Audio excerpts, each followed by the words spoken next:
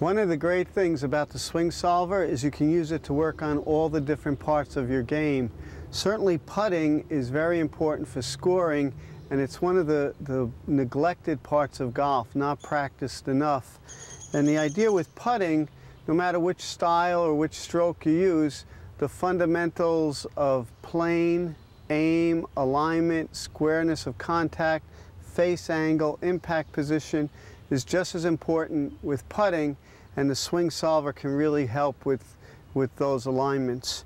When I take my swing solver onto the putting green, I need to get it much more upright because the putter is, is the most upright club in the golf set.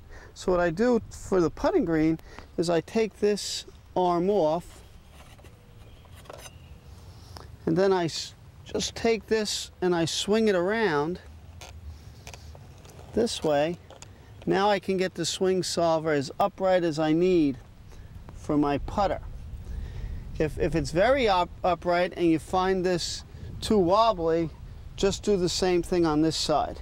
So now I have my swing solver set up and that's a little bit too upright for this putter. So I'm going to step on the bar, take it back a little bit, push it down. Now I have a good plane angle for my putting stroke. I like to practice not bending my left wrist.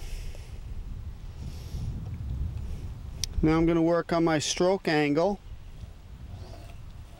Still body. Getting a good stroke going. And there's two ways I like to use it.